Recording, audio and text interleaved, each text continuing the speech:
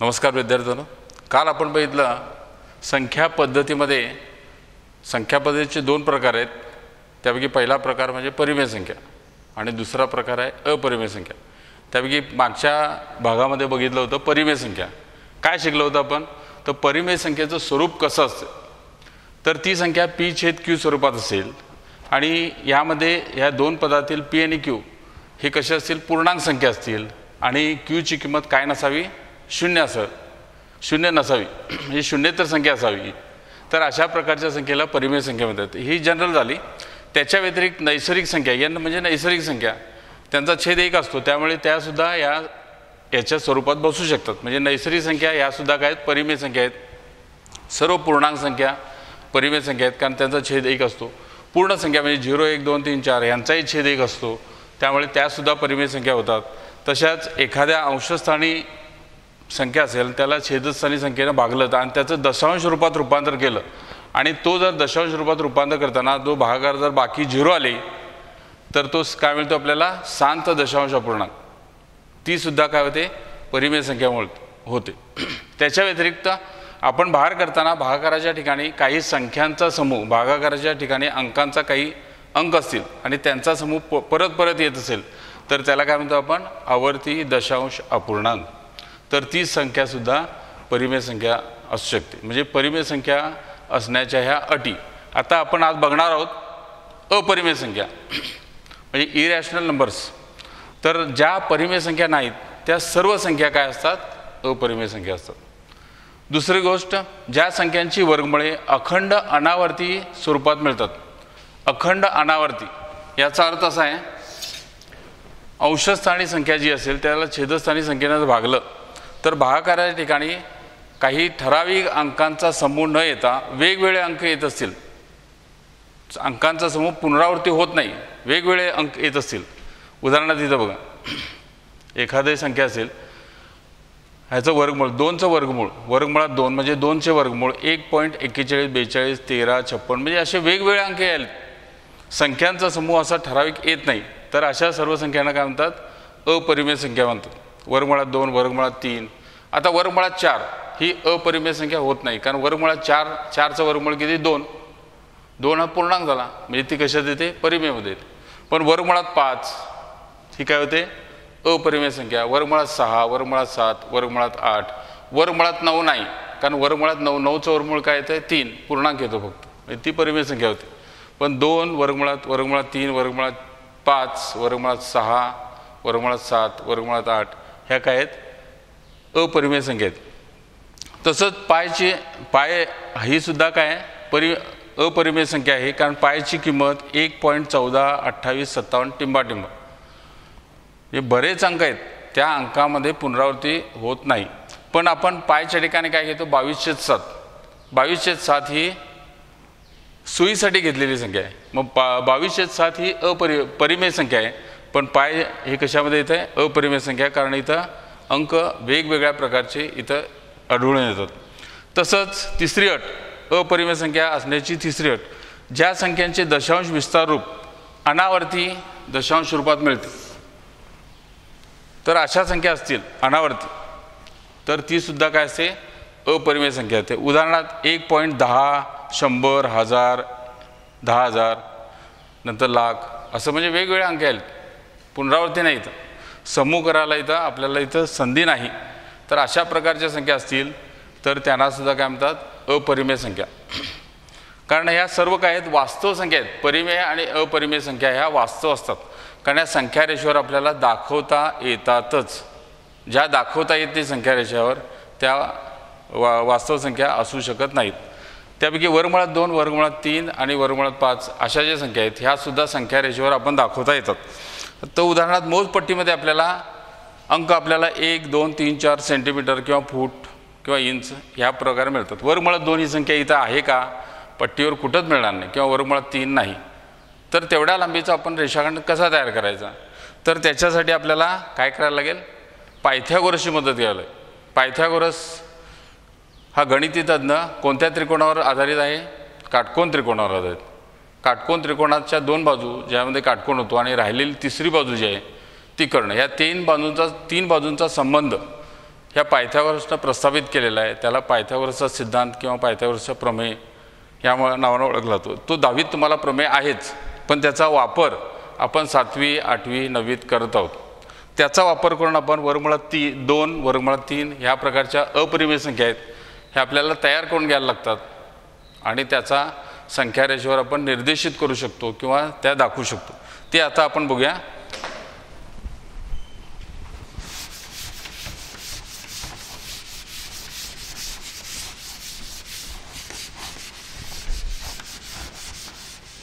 हा वर्गमुळात दोन वर्गमुळात तीन वर्गमुळात पाच. ह्या संख्या रेषा दाखवायचं एकाच संख्या रेषा वर्गमुळात दोन वर्गमुळात तीन वर्गमुळात पाच. या अपरिमेय संख्या.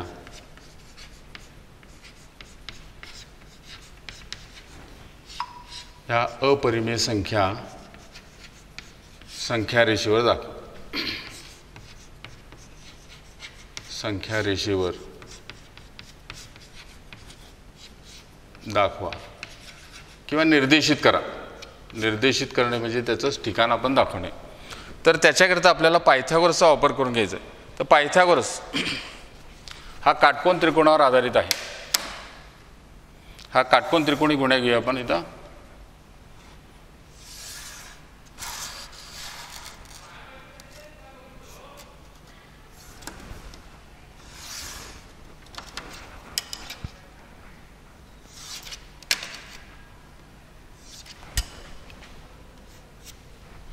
इथं चौकोन कोण केलं आहे याचा अर्थ काय? लंब आहे. किंवा इथं माप किती कोणाचं? नव्वद अंश. याला आपण नावं दिली.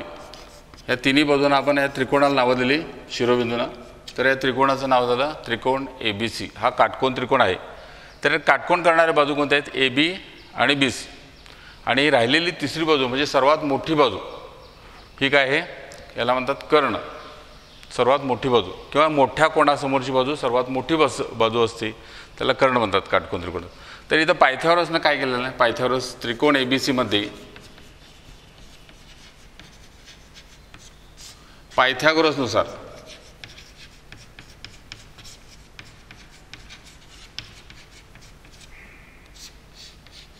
आपण या तीन बाजूंचं नातं कसं आहे संबंध कसा आहे तो आपण इथं पायथ्यावरस दाखवला आहे त्याचा इथं वापर करणार. सर्वात मोठी बाजू कोणती आहे? तर ए सी आहे. याला कर्ण म्हणतो आपण. सर्वात मोठ्या बाजूचा वर्ग एका बदला तर दुसऱ्या बदला समीकरणाच्या दुसऱ्या बदला राहिलेल्या दोन बाजू आहेत. म्हणजे मोठ्या बाजू सोडून राहिलेल्या दोन बाजू आहेत. त्यांच्या वर्गांची बेरीज. ए बी वर्ग अधिक बी सी वर्ग. तर ह्या प्रमेयाचा वापर करून आपण संख्या रेषेवर या तीन संख्या दाखवू शकतो. त्याच्याकरता आपण संख्यारेषा काढूया.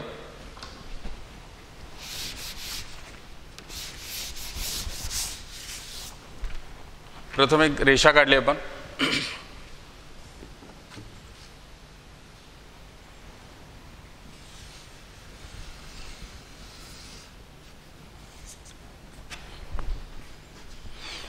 संख्या रेषेच्या कोणत्या एक मध्यबिंदूला आपण नाव दिलं ओ किंवा तिची निर्देशन किती?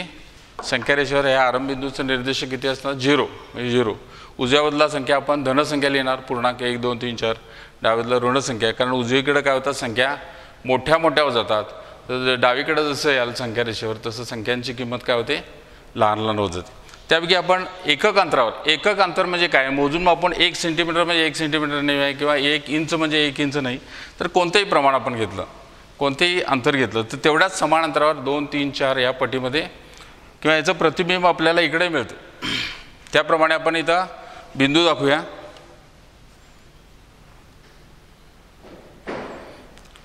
हा आपण एक प्रमाण घेतलं दुसरं होणार इथं दोन. हे एक पट असेल तर इथून हे अंतर किती असेल दुप्पट याप्रमाणे. इथं आपण एक संख्या घेऊया इथं दोन.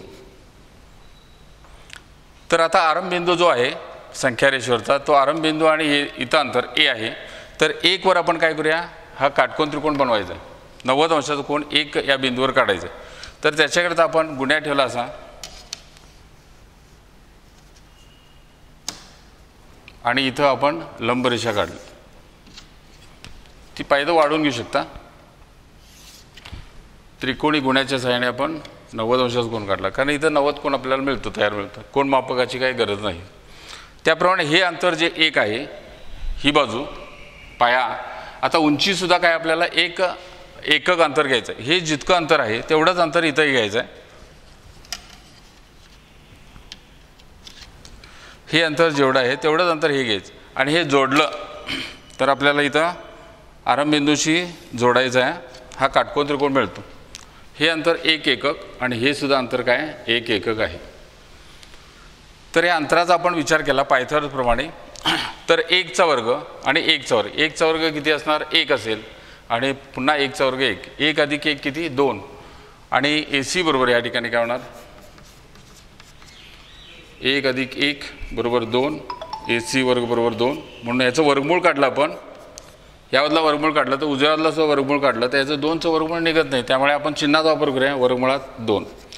म्हणजे ह्या रेषाखंडाची लांबी किती असेल? ही जर एक एकक असेल ही एक एकक असेल तर याची लांबी किती होते? वर्गमुळात दोन. म्हणजे मोजपट्टीमध्ये वर्गमुळात दोन नाही आहे.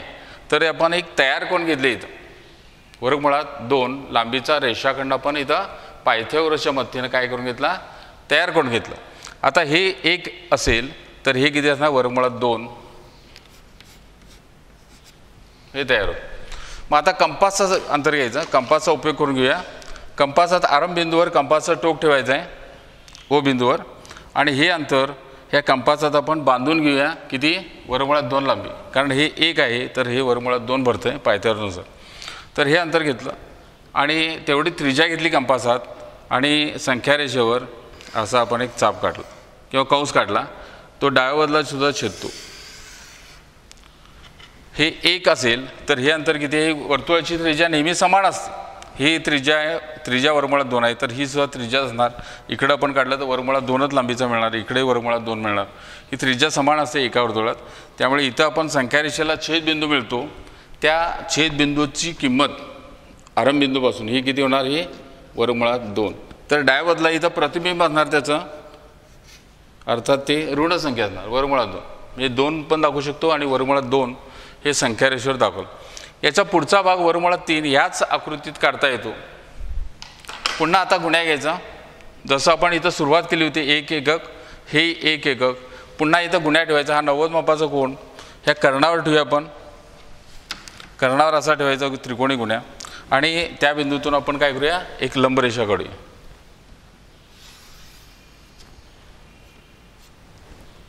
आणि हे अंतरसुद्धा किती घ्यायचं? सुरुवातीला एक एक एक. त्याप्रमाणे इथंसुद्धा एक एकक अंतर घेऊया. त्याची नोंद घ्या इथं काय घे- किती मापाचा कोण झाला? गुन्ह्या कारण गुन्ह्या इथं ठेवला बघा. त्रिकोणी गुन्ह्यात हा नव्वद मापाचा कोण असतो. तो इथं ठेवला. मग आधी इथं ठेवला होता. नव्वद मिळाला. कंटिन्यू गेला इथं एक. अंतर एक घेतलं. आता हे जोडलं. तर याची लांबी पायथ्यानुसार किती भरते त्याचं त्याचं पडताळ आपण घेऊया. समजा इथं ए नाव दिलं. इथं बी घेऊया. ओबीची लांबी किती होते बघा? ओबी हा कर्ण आहे. ओबीचा वर्ग बरोबर. कोणत्या त्रिकोणात बघायला आपण? त्रिकोण ओ ए बीमध्ये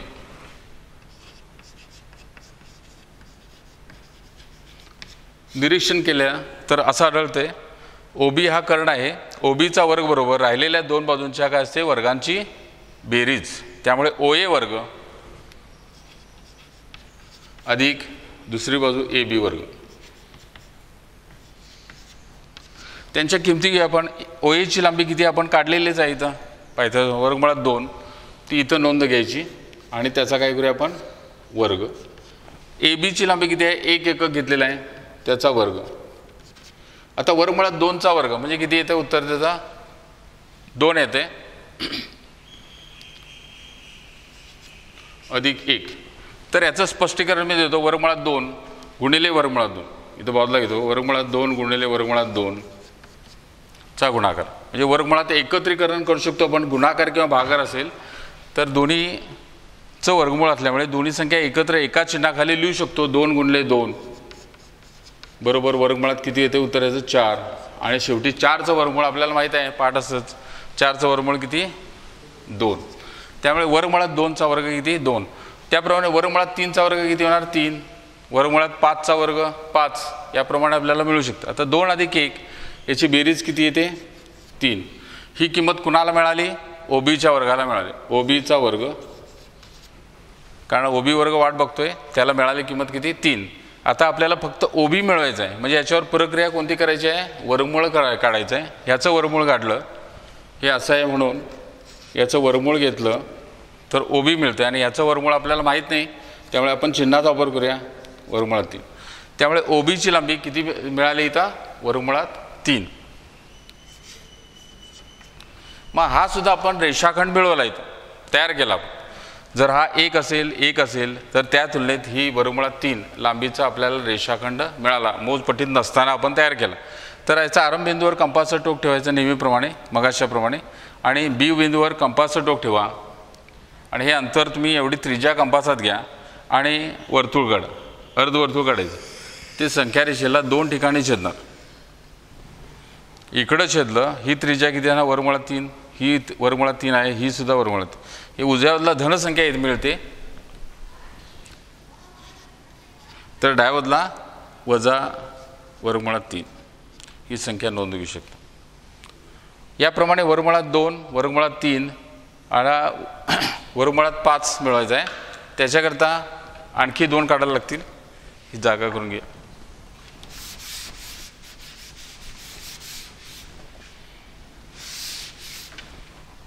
पुन्हा गुन्हा घ्यायचा. गुण्या बी बिंदूवर ठेवायचा कंटिन्यू करत जायचं परत ओ बीवर आपण नव्वद अंशाचा कोण तयार करूया? बी बिंदूपाशी नव्वद अंशाचा कोण तयार करूया?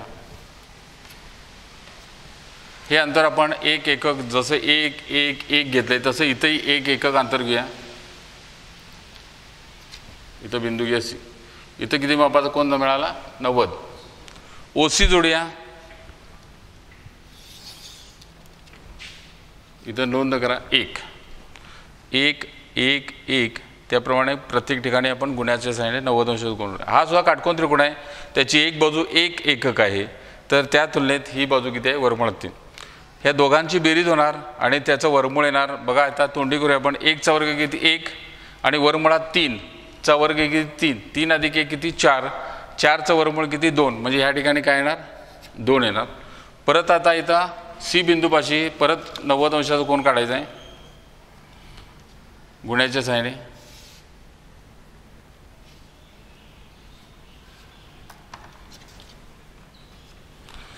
परत या ठिकाणी एक एकक अंतर घेऊया आपण.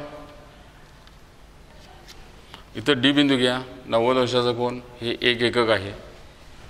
कर्ण जुड्या ओ बिंदूशी कर्ण तयार करूया. ओडी हा कर्ण आहे या त्रिकोणात. हा काटकोन त्रिकोण आहे. त्याची एक बाजू एक आहे दुसरी बाजू किती आहे? वर दोन. तर पायथ्यानुसार एकचा वर्ग. त्रिकोण आता इथं ओडीसीमध्ये कर्ण कोणता? ओडीचा वर्ग बरोबर ओ सीचा वर्ग. अधिक डी सीचा वर्ग. ओ सीची लांबी किती आहे? दोन. दोन आला. दोनचा वर्ग.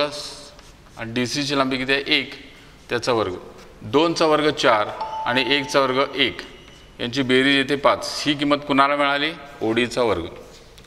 पण ओडीचा वर्ग आपल्याला गरज नाही. ओडी फक्त पाहिजे म्हणजे याच्यावर प्रक्रिया कोणती करायची आहे? वर्गमूळ. दोन्ही बाजूला आपण वर्गमूळ काढायचं. इकडे काढलं तिकडे करायला पाहिजे याच्यावर वर्ग वर्गमूळ काढलं तर याचं वर्गमूळ किती? ओडी येते. आणि पाचचं वर्गमूळ किती? वर्गमुळात पाच. त्यामुळे ओडीची लांबी ह्या एक एककाच्या तुलनेत ही किती असते? वर्गमुळात पाच. हा सुद्धा रेषाखंड आपण एकाच ठिकाणी काढला. वरमुळात दोन वरमुळात तीन वरमुळातच. तर एवढ्या लांबीचा रेषाखंड तयार केलेला आहे. तर कंपासात बांधून घ्यायचं आरंभबिंदूवर कंपासचं टोक ठेवायचं. नेहमी आपण वरमुळात दोन हे अंतर घेऊन वर्तुळ काढलं. वरमुळात तीन घेऊन वर्तुळ काढलं. आता किती घ्यायचं आहे? दोन तर आहेच. दोन इथं येतेच हे दोन आता तयारच आहेत. वरमुळात तीन. सॉरी वरमुळात तिथं किती? पाच.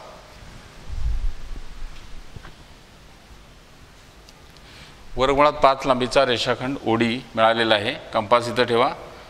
तेवढा रेषाखंड आपण तेवढ्या त्रिज्या बांधून घेऊया कंपासात. आणि अर्धवर्तुळ काढूया. ते अर्धवर्तुळ आपल्याला या संख्या रेषेला दोन ठिकाणी छेदणार. उजव्या आणि डाव्या तर उजव्याबदला छेदते. हे अंतर वर्गमुळात दोन आहे. हे अंतर वर्गमुळात दोन असेल इथून. तर इकडं ऋण वर्गमुळात सॉरी वर्गमुळात पाच. आणि इथं ऋण वर्गमुळात पाच. अशा रीतीनं ह्या अपरिमेय संख्या असतील तर त्या संख्यासुद्धा संख्या रेषेवर आपल्याला दाखवता येतात. म्हणजे त्या खऱ्या आहेत स्वप्नातल्या नाहीत वास्तव संख्येत त्यांना जागा आहे संख्या रेषेवर आणि ती आपण दाखवली. त्यामुळे ह्या अपरिमेय संख्यासुद्धा आपल्याला संख्या रेषेवर दाखवता येतात हे आपल्याला इथं समजते पुन्हा एकदा सांगतो. पहिला एक संख्या रेषा काढायचं. आरंभबिंदू घ्यायचं त्याच्यानंतर समान अंतरावर एक एकक घ्या त्याच्या डबल अंतरावर दोन घ्या टिबल अंतरावर तीन घ्या चार पाच किंवा इकडे असं घेता येत. त्याच्यानंतर एक एकक अंतरावर त्रिकोणी गुण्या ठेवा त्रिकोणी गुण्यात नव्वद अंशाचा कोण असतो त्याच्यावर एक लंबरेषा काढा. त्या लंबरेषेची लांबी जेवढी एक आहे तेवढ्याच लांबीचा एक लांबीचा रेषाखंड घेऊन तिथं बिंदू ए घ्या. हा जोडा पायथ्यावरच वरून आपल्याला दाखवता येते. पायथ्यावरच. प पायथ्यावरमध्ये म्हणजे एकचा वर्ग अधिक एकचा वर्ग त्याची बेरीज येते दोन आणि त्याचा वर्गमुळात दोन. पायथ्यावर धरून आपल्याला वर्गमुळात दोन ही लांबी मिळाली. पुन्हा इथं त्रिकोणी गुण्या घ्या. ए बिंदूपाशी गुण्या ठेवा आणि किरण काढा लंब किरण. कशावर? ओएवर एक लंब किरण काढला ओबी तिथेही अंतर आपण एक एक घ्या पट्टीच्या शायने आणि हा जोडा हा काटकोन त्रिकोण मिळतो. पायथ्याचा एकचा वर्ग एक आणि वर्गमुळात दोनचा वर्ग इ इथं आहेच. दोन दोन अधिक एक किती? तीन. आणि त्याचं वर्गमूळ म्हणजे वर्गमुळात तीन ह्या लांबीचा रेषण मिळाला. कंपास इथं ठेवून ओ बिंदूवर कंपास ठेवायचं. आणि ओ बी त्रिज्या घेऊन आपण एक कंस काढला. तर संख्या रेषेला उजव्या बाजूला छेदतो तिथं वर्गमुळात तीन तर डायवजला वजा वर्गमुळात तीन. याची आपण नोंद घेता येते त्याच्यानंतर पुढे कंटिन्यू एक लांबीचा इथं गुन्ह्या ठेवून बी बिंदूपाशी नव्वद अंशाचा कोण करायचा आहे? त्रिकोणी गुणाच्या सहाय्याने. त्याच्या किरणावर आपण एक एक अंतर घ्या. त्या बिंदूपाशी बी सीची लांबी एक घेऊन सी बिंदू मिळवला. नंतर ह्या जोडायचं. त्याच्यानंतर जोडल्यानंतर एकचा वर्ग एक आणि वर्गमुळात तीनचा वर्ग तीन. तीन आणि एक एक ती चार. चारचं वर्गमूळ दोन. दोन आपल्याला काही गरज नाही. दोन आहेच इथं. परत इथं कंटिन्यू करा. त्रिकोणी गुण्या सी बिंदूपाशी ठेवायचा आहे. आणि लंबरेषा काढायची. डी सी लांबी एक घ्या. पट्टीच्या साहाय्याने. आणि ही दोन आहे. आणि हा काटकोन त्रिकोण बनवा हा कर्ण काढा. आणि पायथ्यावरून आपल्याला मिळतं ओडीची लांबी ही वर्गमुळात पाच आहे. ही आपण मिळवली. आणि एवढ्या लांबीचा रेषाखंड तयार केला.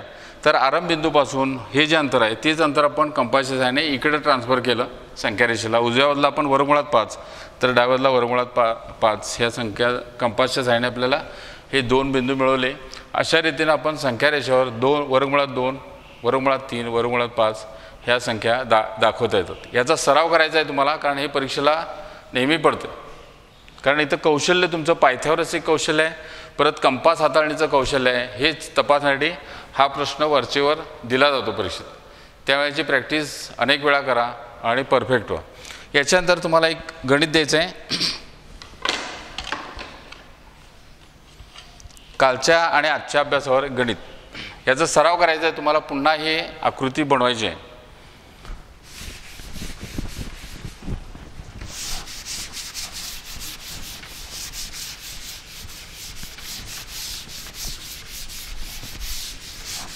आता आपल्याला व्यवहारी अपूर्णांक असेल अंशछेद स्वरूपात. तर त्याचं आपण दशांश रूपात रूपांतर करण्यासाठी काही उदाहरणं देतो. ती तुम्ही करायची आहेत. दशांश रूपात. दशांश अपूर्णांकाच्या स्वरूपात. अपूर्णांकाच्या स्वरूपात.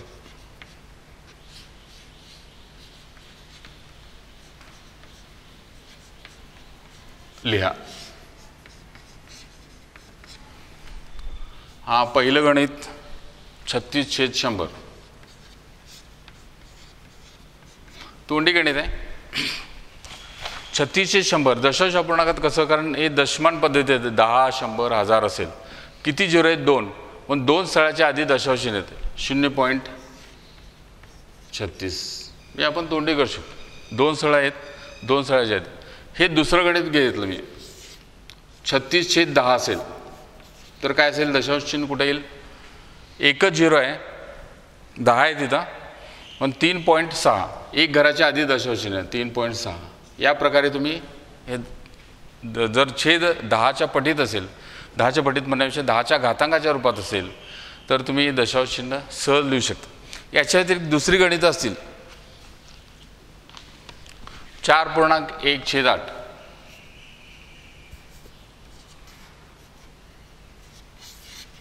चार पूर्णांक एक छेद आठ चे दशांश रूपात रूपांतर करा. या ठिकाणी तुम्हाला पूर्णांकयुक्त अपूर्णांक आहे. याचा अंशाधिकमध्ये रूपांतर करूया. चार आठ गुणिले चार आठ गुणिले चार अधिक एक. आणि छेद किती आहे? आठ. म्हणजे आठ चौक बत्तीस आणि एक तेहतीस. छेद आठ. बघा बरोबर आहे का? आठ चौक बत्तीस आणि एक तेहतीस भागिले आठ. म्हणजे तेहतीसला आपण आठनं भागायचं आहे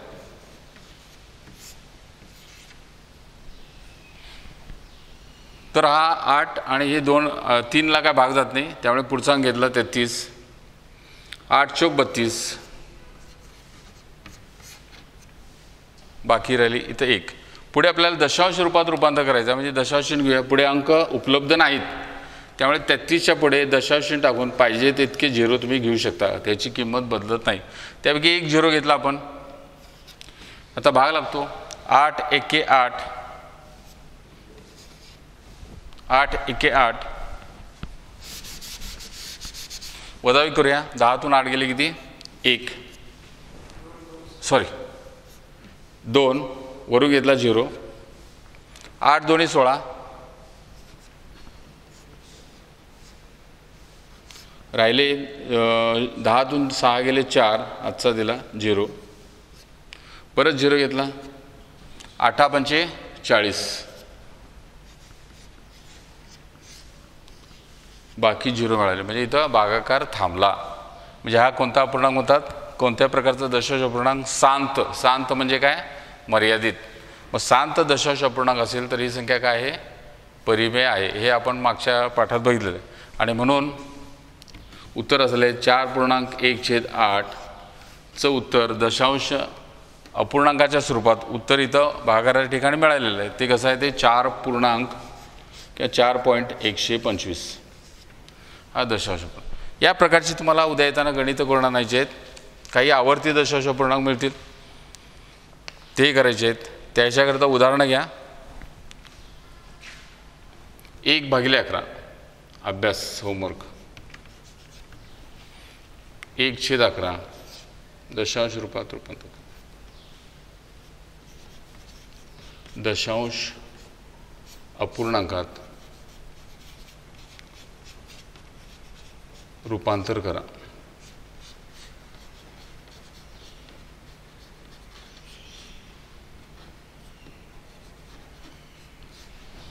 त्याच्याकरिता उदाहरण आहेत. एक भागिले अकरा. हे करा. त्याच्यानंतर दोन भागिले अकरा. आणखीन एक घ्या. तीन भागिले तेरा. दुसरं होमवर्क आहे वर्गमुळात दोन वर्गमुळात तीन वर्गमुळात पाच. संख्या रेषेवर दाखवा. संख्या रेषेवर दाखवा.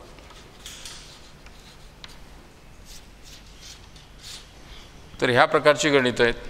ही करा आणि व्हॉट्सअपला मला माझ्या नंबरवर पाठवू शकता. या ठिकाणी आपण थांबूया. पुढचा भाग पुढच्या याच्यामध्ये ह्याच्यामध्ये घेऊया. आभार आहे. थँक्यू